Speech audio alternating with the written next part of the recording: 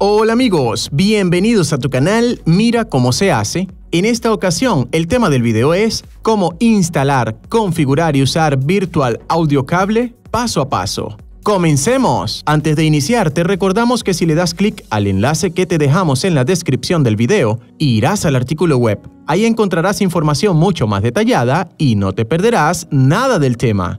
Ahora sí, iniciemos. ¿Te ha pasado que quieres poner música al momento de hacer reuniones a través de la app de Zoom, pero no puedes? ¿Has necesitado que una aplicación escuche a otra, pero Windows no tiene una opción para ello? Para eso utilizamos Virtual Audio Cable y te mostraremos cómo hacerlo. Entendamos primero cómo funciona un Virtual Audio Cable o un cable de audio virtual, back en inglés. Este actúa como si hubiera un cable entre los puertos de audio de tu computadora. Imagínate el puerto de audios y el puerto de micrófono.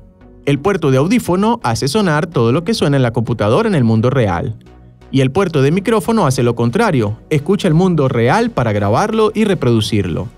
Imagina que hubiera un cable que se conecta desde el puerto de audífono al puerto de micrófono. Eso haría que la computadora se escuchara a ella misma. Esta es la función del cable de audio virtual. ¿Cómo instalar? Hay varios programas de este tipo. Te hablaremos del más sencillo, BB Cable. Algunos programas que puedes buscar luego para saber más sobre el tema son VoiceMeter y Virtual Audio Cable. Este último es uno de los primeros que llegó a existir y el más asociado con el término back. Decimos que BB Cable es más sencillo por varias razones. Para descargarlo, basta con buscar BB Cable en Google.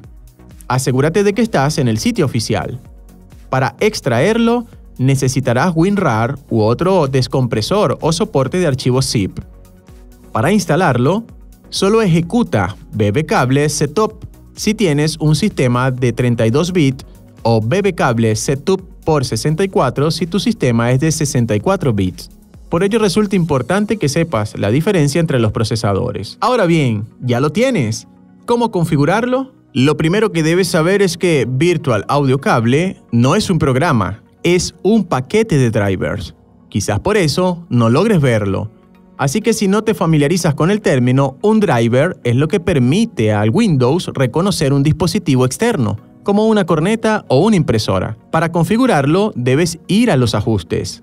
Lo más fácil y rápido es aprender a cambiar el método de entrada y salida de cada aplicación. Casi todas las aplicaciones de videollamada grupales, Skype, Zoom, Celo y hasta de música y video como VLC o Windows Media Player, te permiten cambiar esta configuración cuando tú quieras. Solo debes seleccionar cable input como tu dispositivo de salida y cable output como dispositivo de entrada en cada aplicación que deseas que se comunique con las demás. Ahora bien, ¿cómo usar el cable de audio virtual? Abre la app en la plataforma que consideres mejor para escuchar música y empieza a reproducirla. Con los pasos anteriores, tu aplicación de videollamada o de grabación ya debería estar escuchándola. Así de fácil. Esto es todo por este video. Si te gustó, regálanos un like. También si lo deseas, puedes suscribirte completamente gratis a nuestro canal Mira cómo se hace. Y no lo olvides, activa las notificaciones de YouTube para que te indique cuando tengamos un nuevo contenido. Hasta el próximo video.